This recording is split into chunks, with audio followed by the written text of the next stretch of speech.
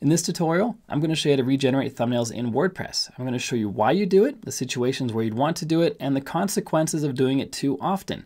And if you have any questions or comments, please leave them down below this video. I'll answer them the best I can. My name is Bjorn Allpas from WP Learning Lab. We will help you get better at WordPress so you can earn more for yourself, for your customers, and for your business. If you haven't done so yet, please make sure you click subscribe and ring the bell so you don't miss any future videos. And now let's regenerate some thumbnails. This is a blog post on a hotel booking website that I created a while ago. If you want to see the full tutorial on how to create a hotel booking website, click on the link in the description down below or the card up above. It shows you how to build this exact website right here. It's pretty awesome, straightforward to do. Check out that video. So to do the regenerate thumbnails, we're going to add an image to this post. Let's go to edit post and add an image. Just going to pick one from the media library. I'm Going to choose this one right here. Click on select and we see on the right hand side that we can choose image size. If you're using the regular WordPress editor, the classic editor, you also have these options on the right hand side where you click on the image and you can choose the size of the image. So if we choose thumbnail, for example,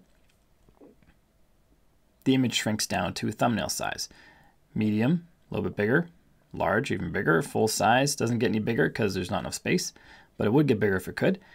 So if we choose thumbnail, we have it set to 150 by 150. That's the default thumbnail size in WordPress. So let's center this and update. And now let's view this page, view the post, and we see our fancy thumbnail right there. And regenerate thumbnails allows you to resize these thumbnails. For example, if at some point down the road you've created a thousand posts, which would be awesome, and all those posts are getting traffic and you want them to be updated and look proper, but you find the thumbnails are too small now. You're using bigger thumbnails. You've gone into the WordPress settings. If we go to the dashboard, if I can get there, can't click properly. If we go to the settings and media, you've come in here and changed the thumbnail size to 300 by 300 because the bigger thumbnail just looks better.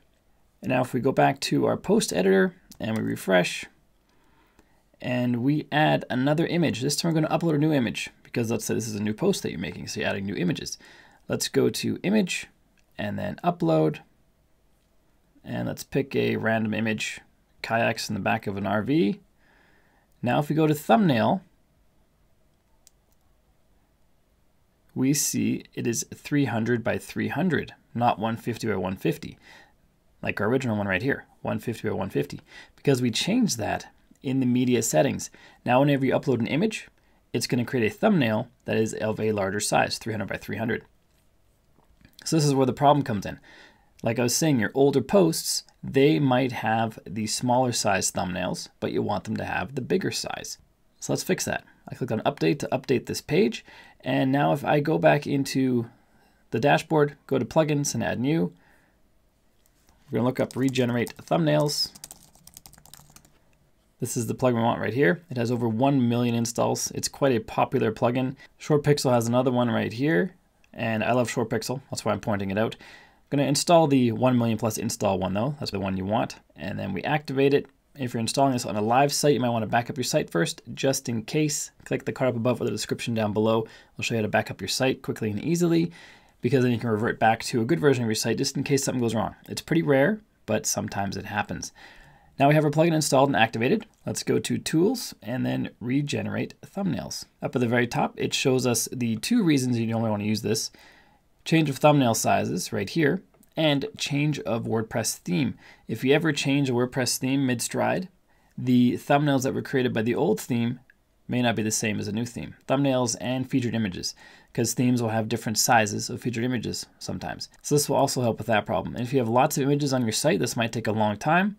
And here it says if you go to the media library and click on regenerate thumbnails, you can regenerate the thumbnail for specific images if you want to. I'm going to keep skip regenerating existing corrected size thumbnails checked. That would be, for example, if you change the thumbnail size or if you change your theme and you've created some posts already in the new thumbnail size or the new theme, then you will have the correct size thumbnails, correct size images. So you can skip all those because you don't have to regenerate those.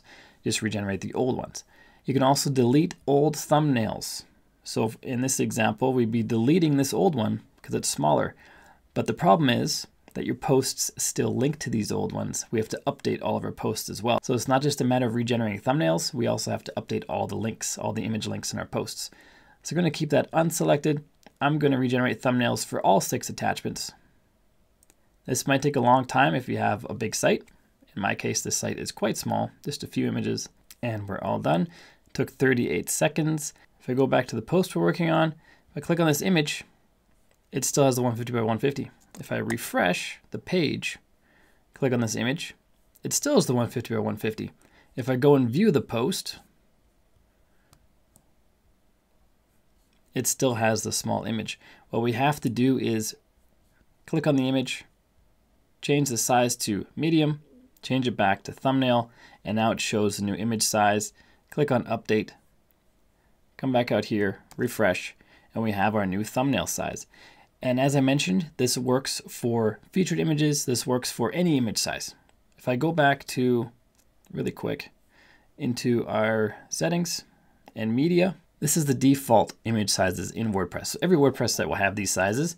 These will be 150 by default, actually, not 300. So these are the default image sizes. But a theme can have any number of image size requirements, so you might actually be making a whole lot more images than just these ones. And what's also funny, in the media library, if we go here, we just see one image. But if you go to the media settings, we see three images. And some themes will make 10 images of different sizes for different places in the theme. But we only ever see one here. And if we go to the live server where this website exists, this site's hosted locally. So if I head over to my flywheel, local by flywheel, this is what I host local sites with. I have a tutorial for setting this up in the card up above and the description down below if you want to check this out. Works for Mac and Windows. Click on this little button here to open the file folder system. Go to app, public, underscore wp content, uploads 2020 06. This is the image we uploaded just now. And when an image is uploaded, we uploaded this one right here specifically. This is the original. WordPress created one, two, three, four, five different versions of that image. Why? For site speed because the, these images are smaller in size, smaller in dimension, and they're smaller in size as well. This one is 89 kilobytes in size, the original. It's already quite compressed. You'll have images in here that are 5 or 6 or 10 or 15 megabytes. If you're a photography website and you don't know about image size and site speed, you're going to have full size images in there that are huge, just massive images. And then WordPress makes it so you're not loading those massive images every time. So this 300 by 225 is only 20 kilobytes. That's four and a half times smaller than the original, which means it's going to load four and a half times faster. And that's why this is done. We now have the bigger thumbnail size for this image because it was uploaded after I changed the settings, but all the ones that are uploaded before are going to have a 150 by 150 that's no longer going to be used on your site, taking up server space. Those are hard to identify. It's really hard to clean those up, but you can go into the media library and find them. If I go back to 2019, these all have a 150 by 150 thumbnail that you can see here. If I click through these, eventually I'll find that exact one that I replaced. This is it. No, that's not it. Eventually I'll find the exact one that I replaced and I can delete it if I want to. I could delete all these 150 by 150s because I'm now using 300 by 300 on my site. But if you regenerate thumbnails multiple times or you switch themes multiple times, you might have, instead of, in this case, one, two, three, four, five, six, seven, plus the original of this image, eight different versions of this image, you might have 20 different versions. If the themes you're using have very different image requirements. So you can have a whole lot of images from just one image over time. And that takes a lot of space in your server.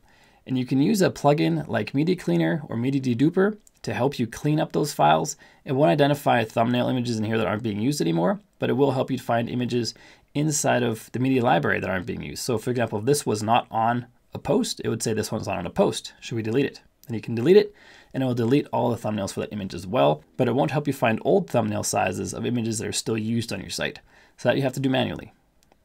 We know we're not using the 150 by 150 anymore. We could just go through and delete them all. It's a bit of manual work, but it's worth the extra server savings that you get. And while we're on the topic of the media library, check out this tutorial right here, which shows you how to add folders to media library, making it much more organized, especially for large sites. And while we're on the topic of organizing things into folders, check out this tutorial right here, which shows you how to organize your pages and posts into folders as well. Two very useful videos, so check those out. And if you haven't done so yet, make sure you click subscribe and ring the bell so you don't miss any future videos. My name is Bjorn Allpas from WP Learning Lab. Until next time, keep crushing it, and I will see you in the next video.